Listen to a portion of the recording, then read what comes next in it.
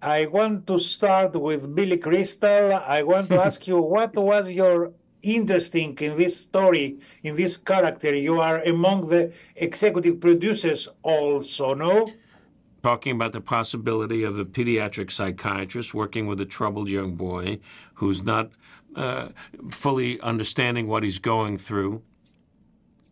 And then when he couldn't express it, he would draw it. And so I said, okay, that's fascinating. Um, I'll play him. I wasn't intending to play him until Sarah had this vision of this troubled man whose his life is based in science and fact, who's now thrown out of his orbit because he has to deal with somebody like Noah. And um, then we wrote it, and then we got to go ahead, and then we had to find Noah. And we auditioned 703 kids, young actors, I should say, across America and Canada, and and then we found Jacobi in London. We met like this. Yeah. On a Zoom. Uh, we played the Mad Game.